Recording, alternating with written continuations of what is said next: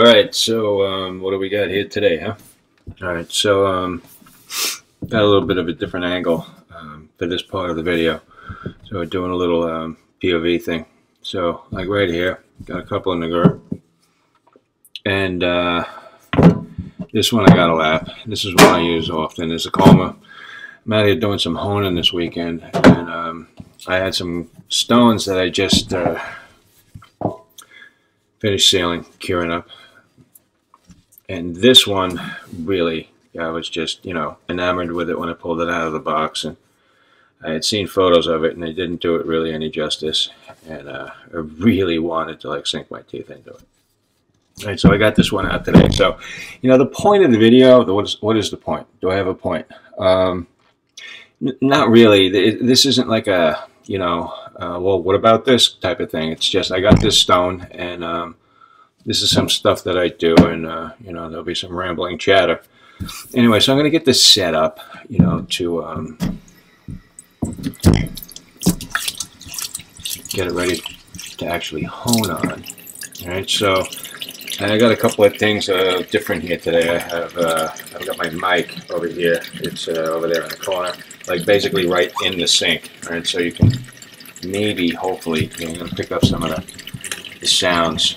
Um, there's audibles. Audible tells are always important. And, uh, you know, I don't know what's ahead of me. This could be just straightforward, and this whole thing with the mic and the sink could be a waste of time, or, you know, maybe we'll hear something going on and the mic will pick it up. I don't know. Anyway, so, uh, I got a couple of uh, Atomas out, right? So this one is uh, double duty. It's a 140 on one side and a 400 on the other, and it's pretty new. Then I have my old ones, older ones. This is a 140, this is a 400 also, except they're separate plates. And uh, these are heavily worn. I mean, just really worn down. Um, and, and, I like to have diamond plates uh, in varying degrees of uh, wear reason being that, you know, when you start out,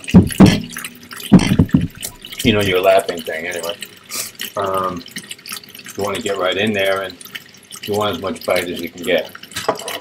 Then after that, you don't need so much bite. You're just leveling and you don't need to be too aggressive. And it's usually not that good to be that aggressive. So, you know, when I lap, a lot of times I'll just go and lap and I'll watch the stone to see how it like, um, how it's leveling out. But, uh, you know, people draw grids and stuff. And you don't have to draw grids. You don't really have to do anything that looks like a grid, although I did one here, right? But it's not necessary. You could just, you know, do that.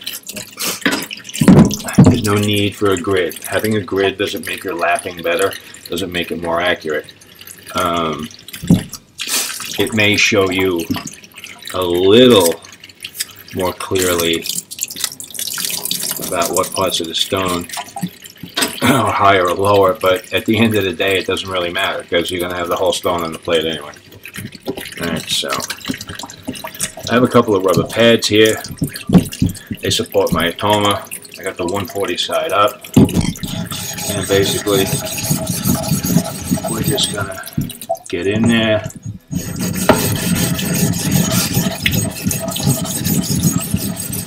take a quick look. What do we got? See that? Okay, I got a head here. Slight hit through here. I mean, just very slight. And then the other end. So you can see the ends are uh, higher. You have this like weird figure eight pattern. All right, cool. So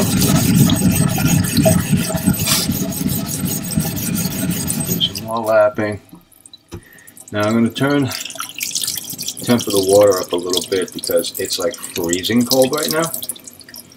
But, you know, some people may have found out that, you know, lapping under warmer water, uh, almost hot water, will make the lapping go uh, more quickly. At least I find that. I, I also find that you can really screw your stone up doing that, so don't do it. Um, keep it at room temp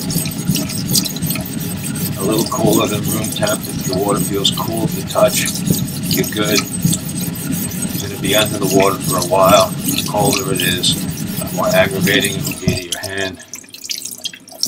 Alright. Now you can see one side leveled out. And I got this semicircle over here. So, flip it around, do a little of this, around again. I know people do figure eights. I don't do figure eights. Never understood why you needed to do a figure eight. Somebody thought it looked good on camera, so they said everyone had to do it. Alright, a little bit closer.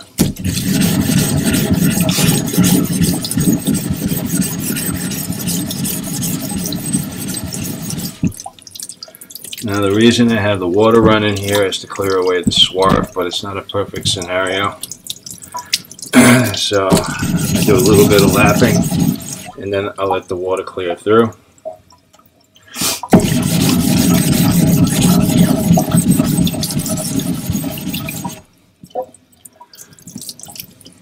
Alright, a little bit better yet. You can also, you know, you can do this.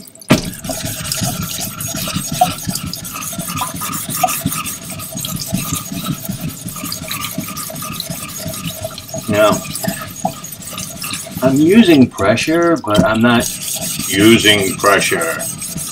It's just some pressure, you know, just enough. And I don't need to push down. Look at that, it's weird, right? It's like there's a little valley.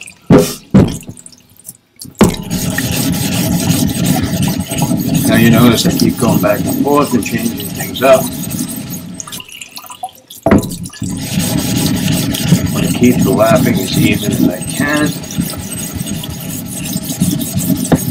I Don't want to get too tired. And I don't want to get bored either, you know? Um,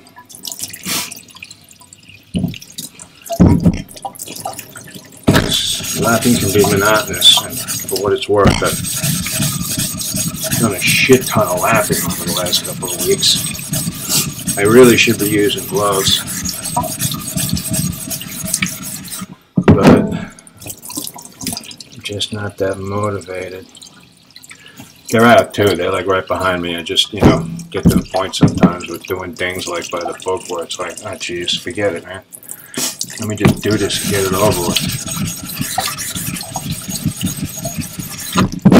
Alright.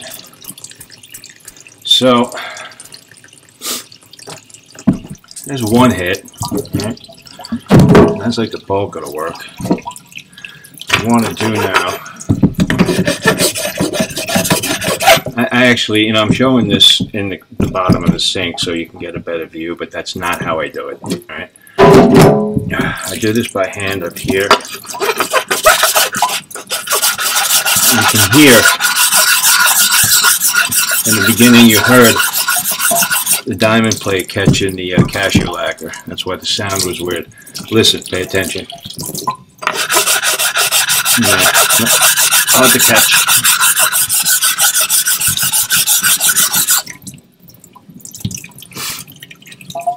You can feel it.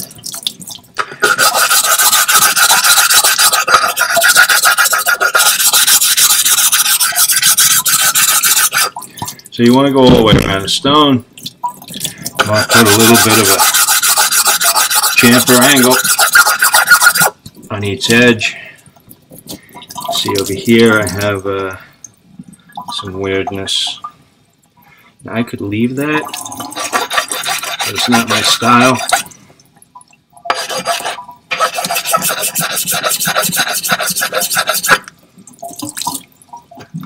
I don't like having any rough parts of stone showing. Whenever you have peaks and valleys, peaks, they become brittle, and then they shed off with wear. And they have this tendency to do so at the most inopportune moment.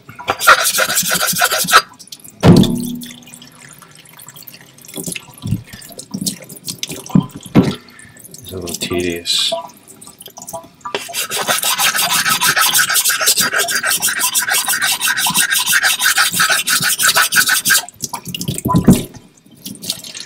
Now I can tell you from lapping here, it's a hard stone. You can also keep the slurry. Very fine. It's a piece of Nakayama. It is essentially uh, a Kiita, although someone might argue that, but I feel it's a Kiita. There's a bit of lime green to it, and if you can catch it in the light, there's like a little bit of Iromono blush. And you can see on the side, you have the top, which is what I'm seeing, I'm working on. That's, you know, yellow and what I call Kiita. Then you have this uh, Asagi underneath it. On the other side, you the same coloring and then this extra sort of reddish brown band down there and that could be anything. You can see the saw marks. These are uh, basically filled in with lacquer. The bottom of this one has uh, this distraction here so it's not perfectly stable on the bench but it's stable enough for me. A lot of people will want to, uh, what do you call it? Put this in a holder or something. I'll just use it on a rubber block, and if anything, I would put a piece of paper towel under it. I'm not really having trouble here. Now, I have the very worn 400, and this is what I use on the chamfers, so I don't have like micro teeth edge, causing me grief because your blade, right, is going to be coming along. Like, wow, this is grabbing the plate. Um, you're going to be honing like this. If this edge here has striations from the diamond plate in it, even micro ones, you can transfer like a major amount of aggravation to the edge of your razor, you know, so you gotta, you, you should work at smoothing it out, okay? I, I just, do a little bit of rolling. The ends are not so critical, but unless you're the kind of guy that runs off the end all the time. I usually hone in the middle, and people bark all the time. They're like, well, you're wearing it unevenly. You're right. And you know what? I don't care. um, shorter strokes for me are easier to deal with. I like a big stone. Um, and when I have them, I usually hone from in this space here. I, I usually don't go all the way. Anyway, that's the beginning, you know, of my lapping thing here. Um, you know, and a couple of things I need to know. Uh, one thing I gotta do, I gotta lap this. I just sealed this tomo. Got a little stamp on it. It's my stamp, Tomo Nagura, you know. Um, a friend of mine sent me that Hanko. He thought it was cool. I, I had no plans on using it like on stone, but then one day I did it and was like, wow, that's cool. So, anyway, that's that. Um, people seem to like it, so I keep doing it. I, I'm just going to guess that there's somebody out there that is displeased with it, but oh well. Uh, anyway, so I did this 40. I did this 45 degree chamfer on the bottom here so I can use this. It's not the smoothest. You can see some of the roughness. So that could be better. And usually with Tomo, I, you know, I, I don't shape them for people because the curve that you put in is really personal. But for me, on this one, right, what I would do is, see that like weird thing there? I would I would come in like this.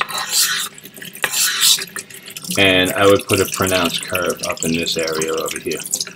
And that's how I would use it. But, uh, and you don't have to do that. Makes sense to me. Anyway, so I have that. And let me see what I got here.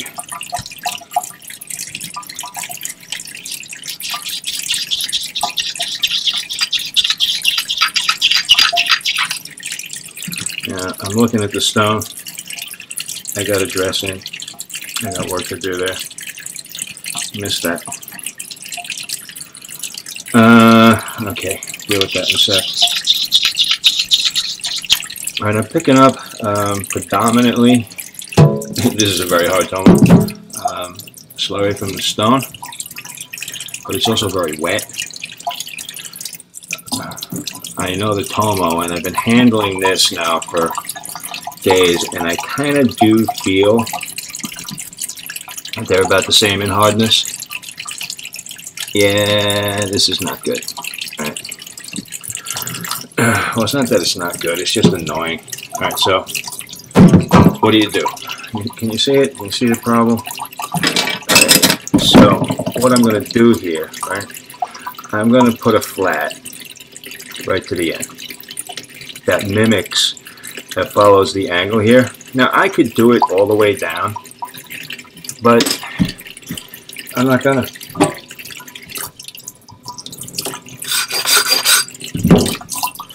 I just don't want to do that.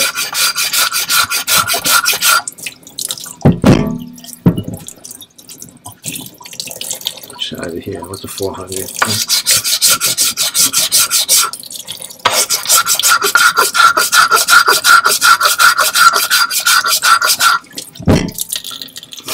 Right.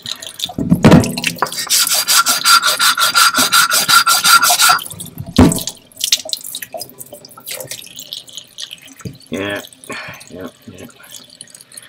Still got a little divot right there.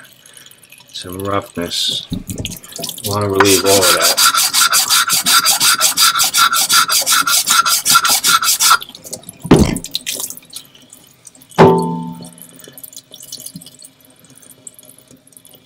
Looking good. Feels good. Run your finger over it. Especially that like peak. Can you see? Catch it. A little bit of roughness. So a little, little bit more. It's okay for the roughness to be into the flat on that chamfer.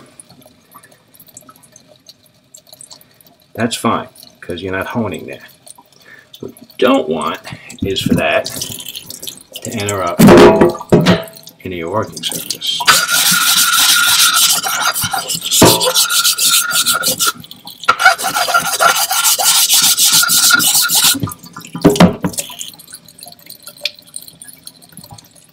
Yeah, good. See? Came out nice. Here, let me, uh, little rounded, it's okay. Alright, so, so far so good. Good hard stone, harder than hard, not quite very hard. Well, actually, it is very hard. It's just into very hard, it's not super hard. Um, and this is, you know, for a go-to everyday type of stone, this is really something that you're looking for in hardness. Well, I shouldn't say you. I don't know what you're looking for, but it's what I look for. All right. So, all right, let me um, cut this and change angle for a sec. Okay, we're back. okay, so change the angle. Actually, the POV thing may look cool, but it's a royal pain in the ass for me to shoot with the camera in front of me like that. Uh, I do it. I used to do it when honing, but um, figured I'd try it here. And uh, not my thing. So what I think here, actually, is yeah, we're we're a good distance up into the very hard world. Okay, um, let me see what I got here with. Yeah, that's predominantly um, Koma, and this is a hard piece. A little bit of base stone there, but yeah, it's soaking wet and it just got lapped, so you're gonna kind of get that. You can't just judge hardness like out of the gate. Now I got this piece of Namito, which is uh, Nakayama Namito. Again, there's my snap. I got this out uh, all the time. It's just like one of my favorite Tomo right now. And what I'm doing is, is I'm going over the chamfer lines. It's a hard stone.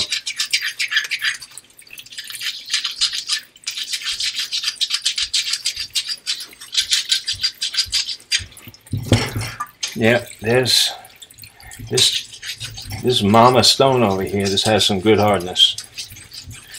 Alright, and so what I'm doing is that I'm just kind of like wearing in the surface, eradicating a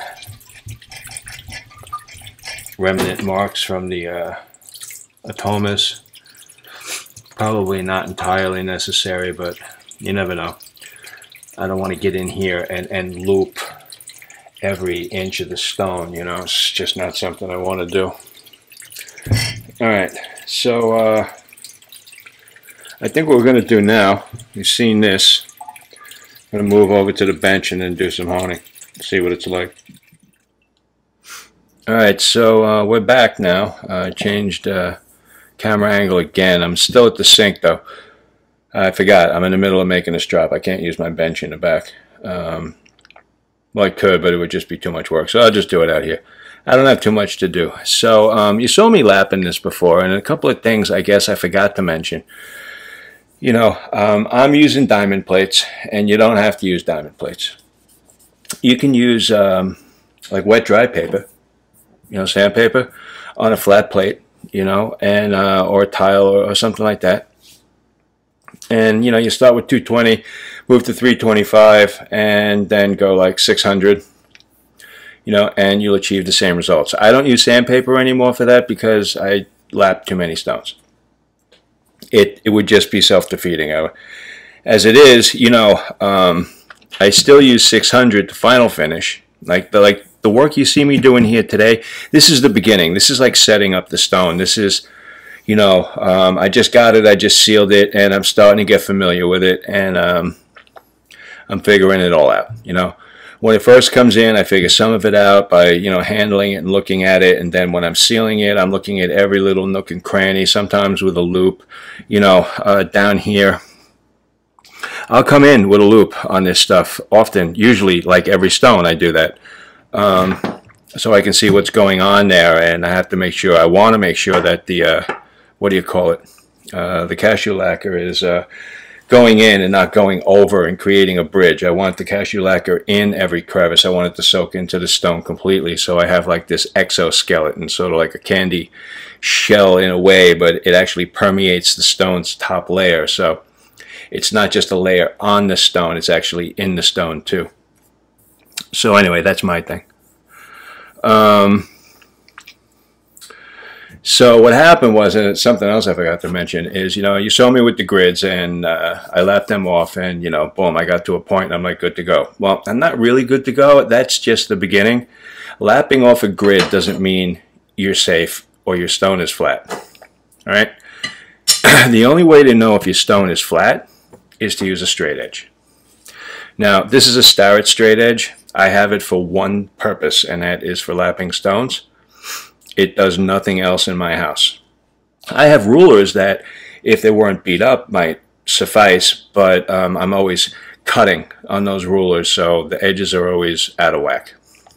But this is, uh, you know, certified within, I don't know, one thousandth or something, and that's fine. You know what? I'm lapping a stone here. I'm not, you know, sending a rocket to the moon. Um, it wasn't expensive. I got it on Amazon. I think it was like 30 bucks. Um, and that may seem like a lot of money for something that only does one thing, but you know, I don't know. You know, given what the stones cost and how often, you know, I use them, I really think that this is a wise purchase. You know, I'm sure there's a Chinese variation of this out there for like, I don't know, a dollar or some shit. Yeah, probably the gold dollar or straight edges. Um, I, I don't want that. I, I don't want that in my house, you know. Um, I look at what's going on in my country, and if, if there's a company in my country that's making this thing and it's affordable, then I'm buying it from them. You know, I can't complain about you know lack of jobs and you know, unemployment and all this other shit, and then like go to Walmart and buy, you know, Chinese bullshit. I, I can't do it. It's just not in me to do that. Um, I actually don't complain too much about unemployment, but I'm just saying, you know. Um, I guess my point is it's 30 bucks. I feel it's well spent. Um, and I, I, recommend using these. Now, go off my soapbox there for a sec. What you do is, right, you don't just, oh, it's flat. No, you don't do that. You check here, right? You check here, and then you check here. You're still not done. You check here, check in the middle, and then check over here. Then you do the diagonals. I know I'm close on the camera, but I think you got the point, right? You do the diagonals. When you achieve flat, like you gauge it as flat at, like that, then you're flat, all right? Until then, you don't know, and I'll tell you, you're usually not flat uh, just by lapping off grids.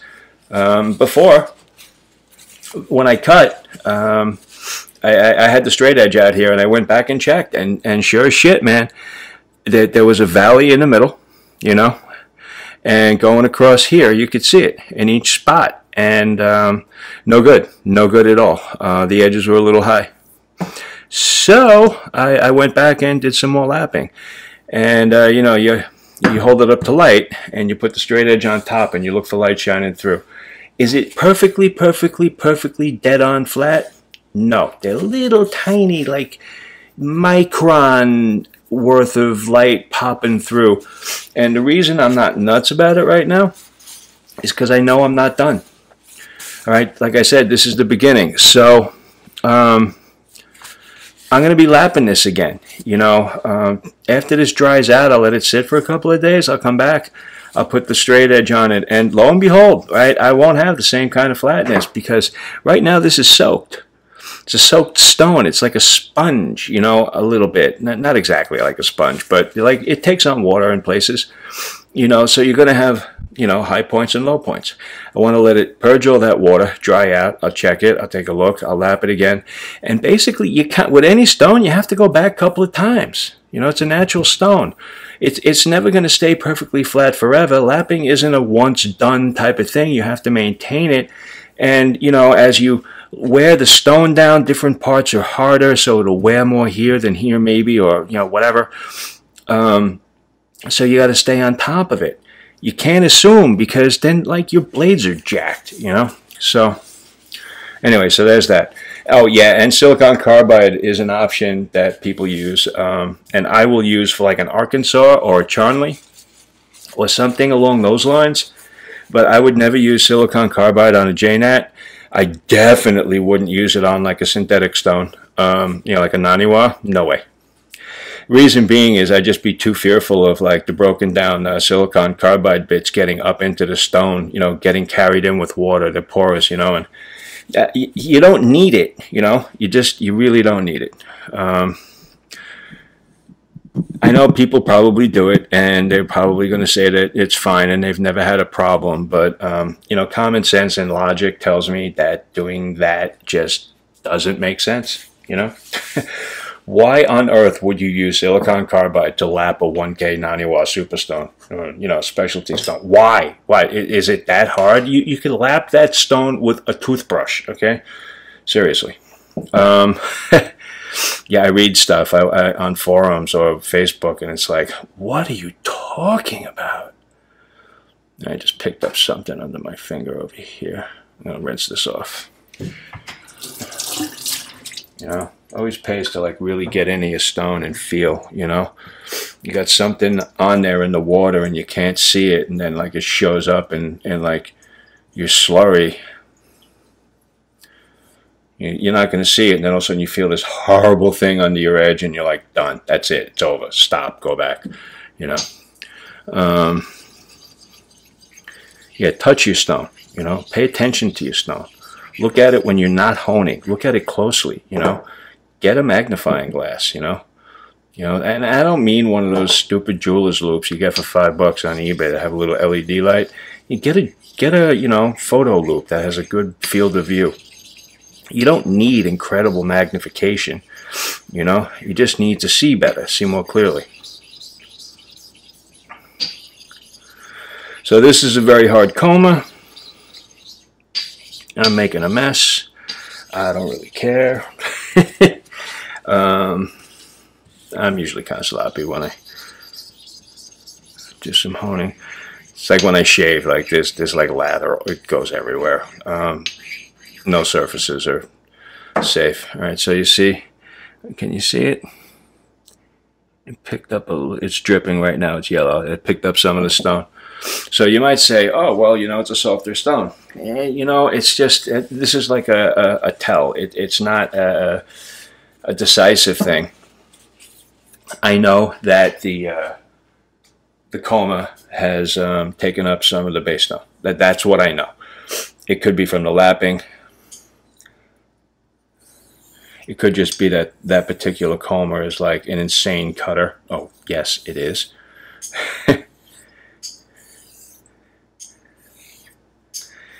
and this is just uh, a blade I had laying around. It's a uh, Believe it or not, it's a Sheffield. I know, it looks like, uh, that's no good. It looks like a Solingen, but it's actually a Sheffield. Uh, it was made for, uh, I don't know, some shaving company over there in England.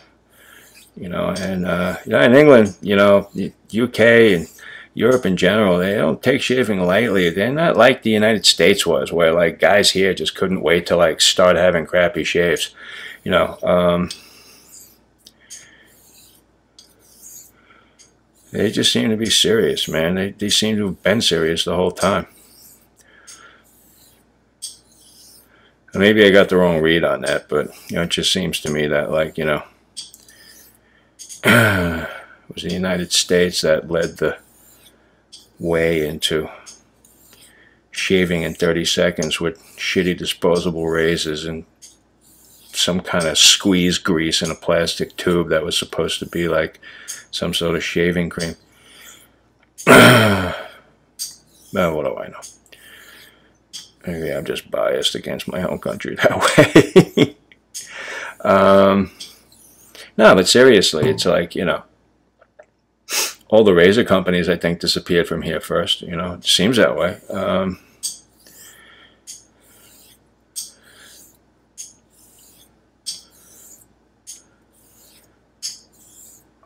I mean, we have independent razor makers now, but you know, TA is hard, you know, and and Solingen, yeah, you got Wacker still doing stuff. I mean, you know, what are we talking about here? Anyway, this is a hard stone. This is a nice hard stone. Oh, yeah, to the guy who emailed me about this, doing that, chipping my stone, you're an idiot, okay? Um, no, it doesn't chip my stone. It would chip it if I was like banging on it, but I'm not. It, it's just a light tap, okay? Know, people like say all sorts of stuff. Well, actually, I think that guy, it wasn't actually a, a message or an email. It was, uh, it was a comment, I believe, uh, posted by one of the shills for the, uh, that uh, Ilya La Razzia horn or whatever that thing is called. Um, seems that particular video uh, remains a bit of a controversial point of focus for some people. I don't know. It's just like you know, whatever. Buy. You know, I just told someone, like, buy one, man. Use it. You know, if you like it, keep using it. I, I don't know. The one I tried didn't work for me. I want to tell you, the, the honing sensation here is like nuts. The stone is super hard. It's not like glassy at all, but you kind of get that feeling, that hard slatey feeling, but not the glassy part. And I'm getting the pushback because it's big, heavy, thick stone. But like the slurry is, it's like thin cream. It's like creamy but thin as opposed to like that muddy creamy thing. This is like, man, uh, I could just hone all freaking day on this thing. I could just stand here and eat my lunch standing up and, and hone. Just, I don't even have to have a, what was it? Devin just said something, he owns without having a, any intended outcome. And yeah, I, I can totally see that being a reality, like on this stone, you know. And um, you know, I read that, and you know, sometimes I think stuff and I don't say it because I'm, I, I think someone's gonna like poke fun at me or whatever. And um, it's not that I really care about being poked fun at. It's just I just don't really have enough time to stand up for myself most of the time. But um, yeah, um, I can get on the hone and just hone and. Uh, I, I don't necessarily need to have some preconceived notion of where I'm going. I'll just be doing the honing thing, you know. And uh, I, I tell you the truth, like I haven't ever spoken about that with Nelson, and like I can guarantee you that that he does the same thing. It because that's how you figure your stone out, you know. Um, you know, you, you you buy stones and you got people selling stones, right? Like I just want to bring up something here. How the hell can you say a stone is like, you go on eBay, right? You got a LV5 plus, plus, plus, plus, plus. Okay, fine. So uh, I get it. It's, it's a very hard stone, but it's stamped. And the stamp is there. And the guy's telling you, like, you know, how keen his edges are. Well, well, how the hell did you hone if the stamp is still there? Did you hone around the stamp? What about lapping? You're going to tell me you got a killer edge without lapping your stone? yeah, I don't think so. Um, so, you know, you get your stone, you know, you want it to be, you know, whatever hard it is, however hard it is. And, you know, hopefully you bought like a very hard stone and that's what you wanted. And, and then you find out like what part of very hard it is you know, hardness is just one part of the hardness equation. Um, I know that sounds ridiculous, but there's all types of hard. Do you remember when those guys were like talking about the uh, water evaporation process to determine hardness? You know, besides being like, you know, complete fabricated bullshit, um, you know, at least it was an attempt to like you know, figure things out at, at a, you know, somewhat deeper level, you know. Uh, but the, what they never realized was is relative humidity, types of water, and how much polish is on the surface. Not to mention, uh, you can have a very hard stone that still absorbs a lot of water. Um, yes, it's true. It can happen you know, there, there are a lot of factors that play into it. But um, yeah, I got a kick out of those days. Uh, that's when uh, there was somebody telling people that they had to use, uh, uh, was it distilled water or some shit, so they, they, their slurry would be pure. I mean, the, the crap that was on the internet back then, I mean, there's a shit ton of it now, too. But like back then, it was like off the hook, okay? All right, so um, I'm really happy with this stone. Uh, I'm, I'm uber happy with it. Uh, I think I, I, think my source really hooked me up. Um,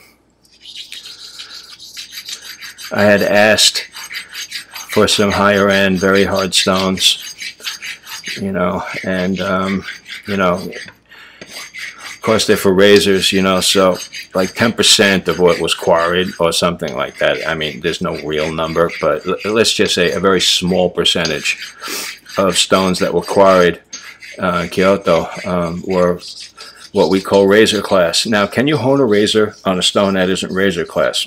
Well, sure, because people are doing it all the time. Just look at the crap being sold on eBay. but, um, you know, a razor class stone, if you have any sense of aesthetics, and uh, you have a mind to go look at your bevel after you're done honing. And you're like